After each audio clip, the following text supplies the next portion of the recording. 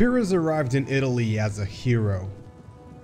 He quickly became a tyrant in Tarentum and later in Sicily, and after Beneventum, he left in disgrace and disappointment. The Pyrrhic Wars are the first major conflict the Romans ever fought, and the first piece of evidence that Rome would stand the test of time for almost a thousand years. Disgraced, lacking funds, and accompanied by a crumbling army, Pyrrhus returned to Epirus. Antigonus II Gonatas had recently taken control of Macedon in 277 BC. He was a rival of Pyrrhus. Pyrrhus mustered what forces he could and struck Macedon, likely looking for funds and glories, something to erase his recent failures in Italy. In 274, he defeated Antigonus at the Battle of Aous and took most of Macedon. In 272, Cleonymus of Sparta, a Spartan royal who felt as though he should be king, requested aid to Pyrrhus so he could become the king of Sparta. Looking to expand his sphere of influence, Pyrrhus accepted. However, things quickly turned south as he met fierce opposition at the siege of Sparta, and when met by a relief force from Antigonus, Pyrrhus withdrew, losing his son Ptolemy in the fight. Months later, he intervened in a civil dispute in Argos and stormed into the city, only to meet his untimely death by brick to the head thrown by an old lady. Hearing about the death of Pyrrhus, the Romans moved to seize Tarentum and southern Italy. Antigonus reclaimed his possessions and Sicily became the stage of a cold war between Carthage and Rome. But what if Pyrrhus had won the war? How could he have done it? Let's enter the alternate history realm and explore two scenarios.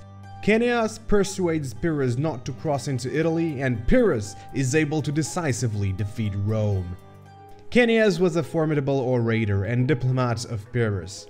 He had been the disciple of the great Demosthenes of Athens. It is likely he was in his 50s or even 60s during the Pyrrhic Wars. There is a famous episode where Cineas asks Pyrrhus what he will do after conquering his next empire. Pyrrhus eventually tells Cineas that after there is nothing left to conquer, he will rest. Cineas rebuffs this with, well, you can rest now. Why don't you simply rest now instead of going through all this trouble, only to end up resting later rather than now? While on our timeline, Pyrrhus ignores this and goes on to fight the Pyrrhic Wars. On this alternate timeline, he stays home, although this is quite unlikely due to Pyrrhus' undenying ambition to conquer an empire. In 279 BC, Ptolemy Ceraunus, ruler of Macedon and ally of Epirus, rushed to fight a Gallic invasion of Macedon. He is killed in battle and the country is left without a ruler. Despite not being popular among the Macedonians, Pyrrhus would move into Macedon to claim the throne once again. It is likely that the Ptolemies in Egypt would aid Pyrrhus in this effort as they did in the Pyrrhic Wars. He defeats the Gallic horde in 278 BC alongside the Greeks in Thermopylae, further cementing his rule of Macedon and keeping Antigonus II Gonatas with no seat of power. It is likely that Pyrrhus and Antigonus would eventually meet in a battle for Macedon, but as in our timeline, Pyrrhus would decisively defeat Antigonus. In 275 BC, Cleonymus of Sparta would still ask for the support of Pyrrhus to take the Spartan throne. But on this timeline, with a large, strong army and funds in his coffers, Pyrrhus is able to install Cleonymus as a puppet king and later take Argos by storm. The Eagle King evades the murderous roof tile and is in either direct or indirect control of Greece by 274 BC. On this timeline, Rome is able to take southern Greece by 275 BC as Pyrrhus doesn't invade Italy and doesn't give hope to the native populations. As such, a big Roman Tarentine war happens and the Romans are able to defeat Tarentum. This causes many to surrender and declare allegiance to the Eternal City. Carthage is likely to have been able to take Syracuse after a long siege and the Punic Wars might now happen earlier. Without the introduction of elephants by Pyrrhus to the west, Carthage would not have elephants in its army by the First Punic War. But could have Pyrrhus actually have defeated Rome in the Pyrrhic Wars? The simple answer is that this is a very unlikely scenario. For the Romans, ever since the sack of the city in 387 BC, all wars were wars of survival. Surrender was never an option, and the population held that same mindset, so much so that no matter the defeat or casualties, there would always be thousands of recruits ready to fill in the casualties. To defeat Rome was to strip Rome of its manpower pool. However, at the Battle of Heraclea of 280 BC, Pyrrhus defeated Rome without its Italian allies. In our timeline, the Romans suffered over 10,000 casualties. If the Italian allies had joined Pyrrhus before the battle, Roman casualties would have been much higher and the Epirots much lower. Many cities in Italy, seeking their independence or simply waging their bets, would turn to the Epirot side, sending men to further bolster the Greek army. A second battle is likely to have occurred as the Romans still refused to surrender, but their efforts to rebuild the army would have been much higher.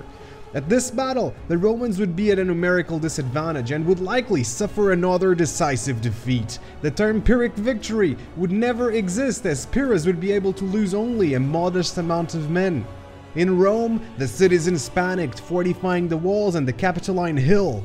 As Pyrrhus marches on Rome, Cineas is sent in advance to offer peace. Pyrrhus is willing to release the Roman prisoners in exchange for peace, and Epirus will become a friend of Rome. The Roman Senate discusses the proposal under a cloud of impending doom. After much talk, they accept Pyrrhus's proposal, renouncing all southern Italian possessions and making peace with the Greeks. Pyrrhus then turns to Carthage, setting sail to Sicily.